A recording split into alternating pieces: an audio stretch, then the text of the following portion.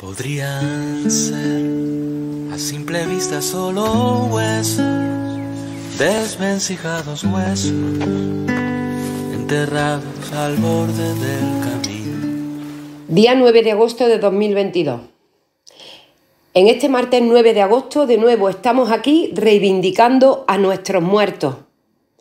Sí, señor alcalde, Hoy, delante de las puertas de este ayuntamiento, que es la casa de todos los cordobeses y de todas las cordobesas, reivindicamos la memoria y la dignidad de nuestros muertos.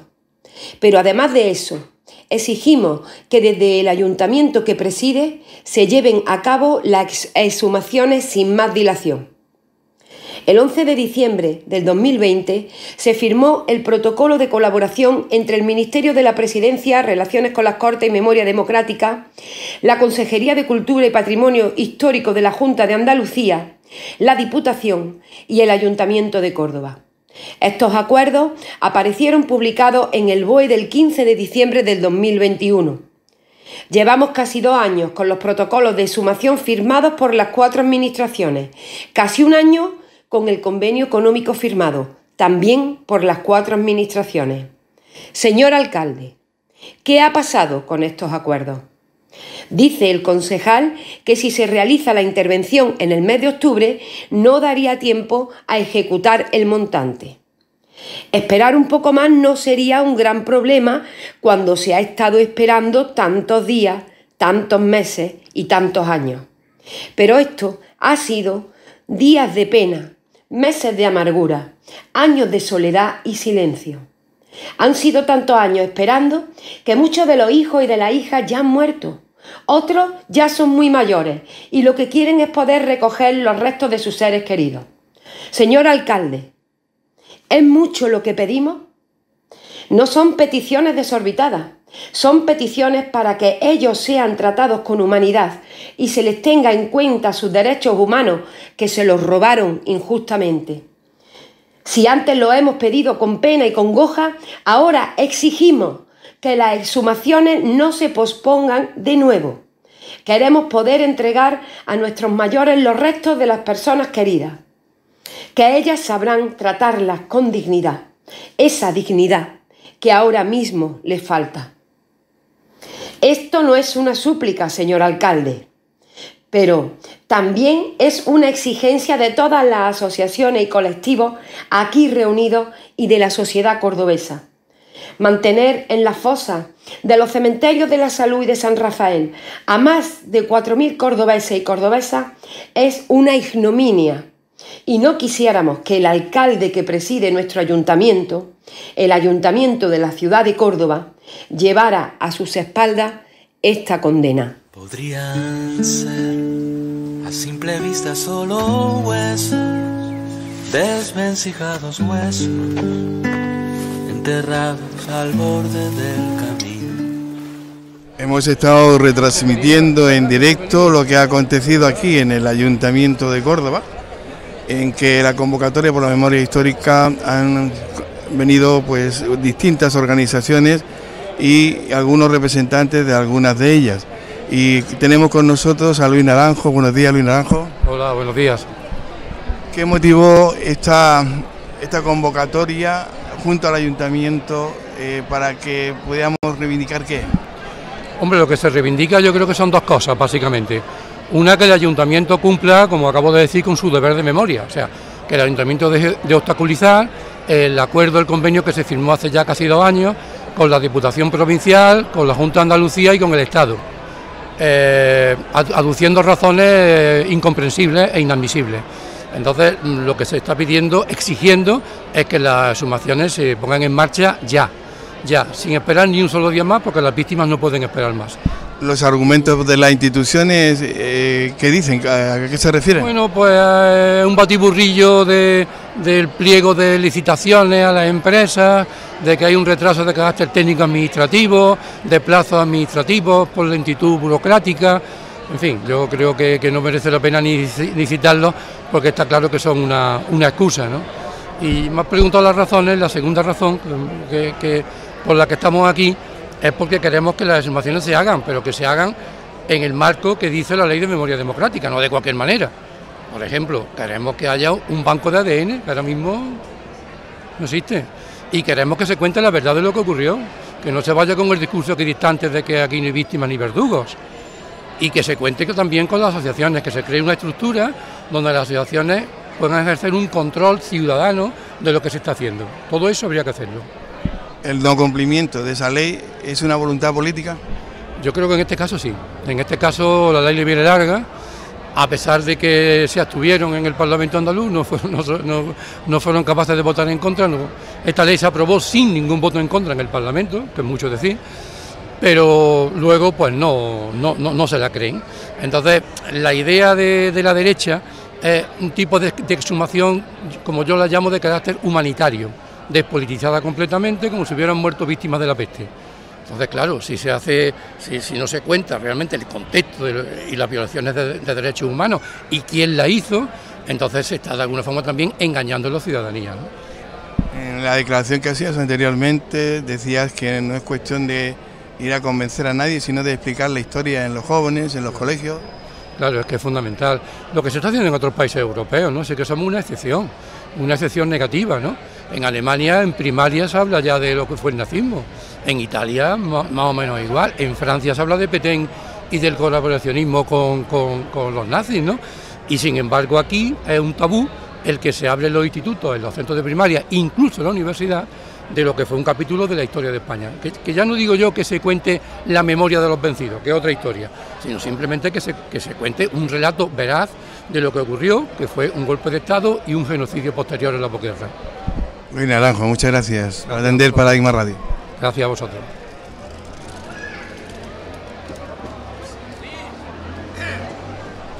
Bien, otros los componentes de la convocatoria de, esta concentración junto al Ayuntamiento de Córdoba, Esteban Garrido, buenos días. Buenos días. Usted es presidente de la coordinadora de, de Andalucía. De la coordinadora de Memoria Histórica y Democrática de Andalucía. Eh, ¿Cuál es el motivo por qué se ha podido convocar, según su punto de vista, esta concentración? Hombre, hay un argumento y eso es lo que ha llevado que esta concentración se haga, aparte de que estemos en Córdoba y en el 9 de agosto, que hay que tener muchísimo valor para estar por aquí, en que hoy está el día bueno, pues la paralización sin explicación del desarrollo del convenio que tienen firmado las cuatro administraciones por parte del Ayuntamiento de Córdoba. Entonces, eso mm, merecía darle una respuesta inmediata en que, como he dicho ahí antes, tendremos que estar muy pendientes y muy atentos que si a primero de septiembre, cuando se reúna la comisión de seguimiento de las cuatro administraciones, esto no funciona por alguna que le ponga más piedra en la rueda, tendremos que dar una respuesta contundente. ¿Por qué? Pues porque no se puede esperar más. Se están muriendo las personas mayores. No van a recoger los restos de sus familiares. Y no se le puede tomar el pelo a las asociaciones, a las víctimas y al movimiento memorialista. Porque además la ley está para cumplirla. Y eso le obliga a, todas las administraciones. Eso es un deber de Estado. Y el Estado compone el Estado central, la autonomía, las diputaciones y los ayuntamientos. Así que habrá que organizar qué es lo que hacemos si esto no funciona. Hablando de ayuntamientos, ¿hay alguna diferencia entre el Ayuntamiento de Sevilla, que ha actuado de alguna manera, y el Ayuntamiento de Córdoba, que actúa de otra?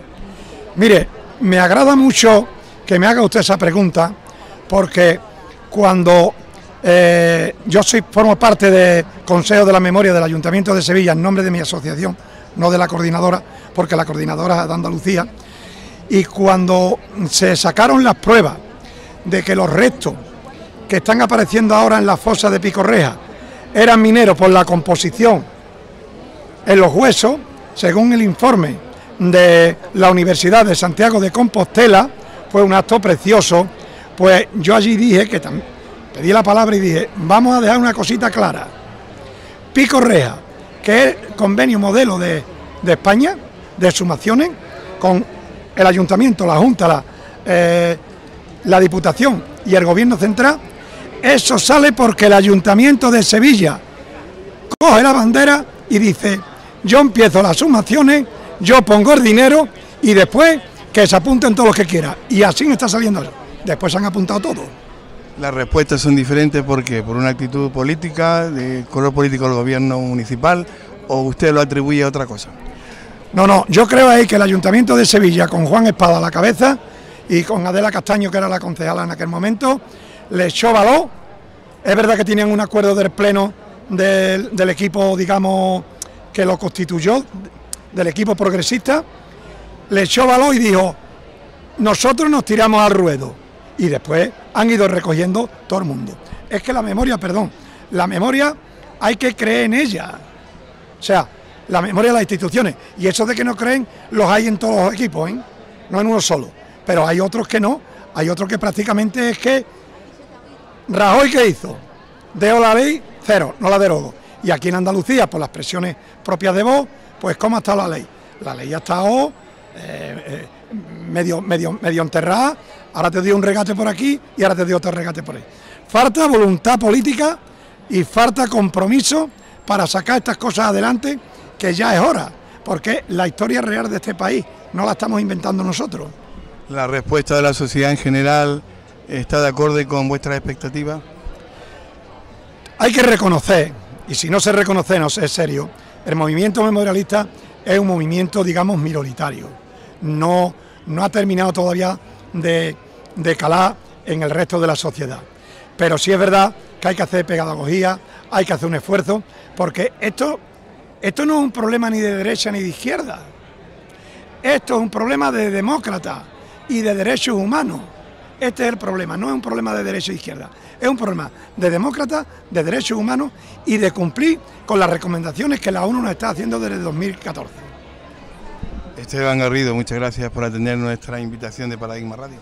Muchas gracias a ustedes, que os digo para que lo, lo podáis decir con toda tranquilidad y con toda garantía. Hicieron ustedes el año pasado un programa de la columna que es de lo mejorcito que yo he visto en estos campos. Así que transmitirlo y os lo digo así, sinceramente. ¿Vale? Muchas gracias, Esteban. Gracias a ti. Tenemos la siguiente invitada, María Mar García. Eh, buenos días. Hola, buenos días, Ale. Aquí estamos, 9 de agosto. Representante de la plataforma. Representante de la plataforma por la Comisión de la Verdad de Córdoba. Aquí estoy. ¿Cómo has visto la, la respuesta de la ciudadanía de Córdoba en una convocatoria de este tipo, en esta época, con, el calor que hace? ¿Cómo, cómo lo has visto? Pues mira, francamente eh, estoy sorprendida y estamos todos sorprendidos de la acogida que ha tenido el llamamiento a esta concentración, como tú bien dices, Ale, 9 de agosto en Córdoba, que mm, estamos, los cordobeses y las cordobesas estamos eh, casi todo el mundo fuera de aquí, ¿no? Para evitar el calor, y, me ha sorprendido gratamente la acogida que ha tenido mm, eh, este llamamiento de a, la, sociedad cordobesa y a todo el movimiento memorialista cordobés y andaluz, ¿eh? con, han superado todas las expectativas que teníamos nosotros en nuestra cabeza hasta el momento de hoy, que ha sido gratamente satisfactorio habernos encontrado pues con este mm, número tan solvente de personas que han acudido a la concentración. Cuando ha sentado el ayuntamiento de aquí de Córdoba, seguramente. eh, a su derecha, a la derecha, a la entrada del ayuntamiento de Córdoba hay una placa que conmemora a las personas que fueron víctimas del franquismo, tanto hombres y mujeres funcionarios de este ayuntamiento. Quiere decir que se reconoció, eh, se reconoció esa, esa ley, se cumple esa ley, y si se cumple la ley una placa puesta en el ayuntamiento, ¿a qué lo atribuye que no cumpla con el resto de que, las normas que expone la ley? Bueno, pues a mi, a mi humilde em, opinión, em, los seres humanos estamos dotados de- de postureo.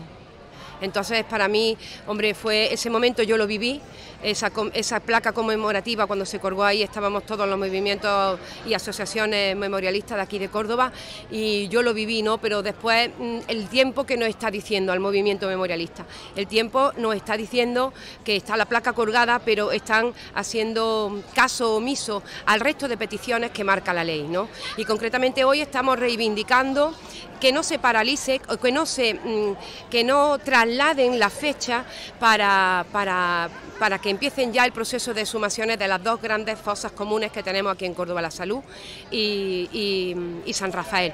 Por lo tanto, eh, ¿de qué sirve una placa? Si después lo que a posteriori la ley nos dice a nuestros políticos, a nuestros representantes, si no cumplen esa ley, pues nosotros, la verdad, como te he dicho al principio, esto es postureo por parte de la clase política. Solo está el hecho de que se haga una, justicia con la exhumación de los cadáveres o hay algo también importante dentro de esa reivindicación para que se reconozca la tragedia de fueron las víctimas del franquismo. Hombre, en justicia y en verdad lo que no puede ser desde desde que un niño está en la escuela y no se le explica no se le explica lo que pasó en aquel tiempo de una manera para que, para que la verdad fluya y para que seamos verdaderamente un pueblo libre, pues desde ahí, pues imagínate el reconocimiento eh, a, esa lucha de tantos familiares como, como hay, que llevan toda su vida eh, buscando a sus seres queridos. Y se están muriendo los hijos y, las hijas de esos familiares que, que, asesinaron el franquismo, se están muriendo y entonces eh, no están quedando ni los nietos. Los nietos eh, siguen continuando con la labor de esos padres, de esos hijos que han fallecido.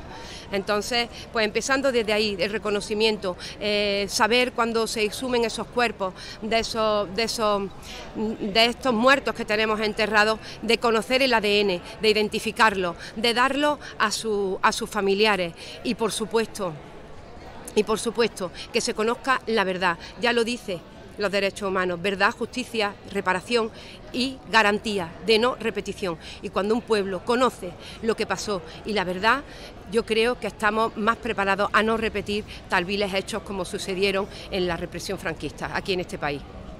Para poder terminar, vamos a ver a José Manuel Matencio, que se ponga a tu lado. Vale. Eh, eh, estas dos personas que aquí ustedes, las, estas dos personas que ustedes pueden ver aquí, son los que llevan el programa de domingos los domingos de paradigma. Sí.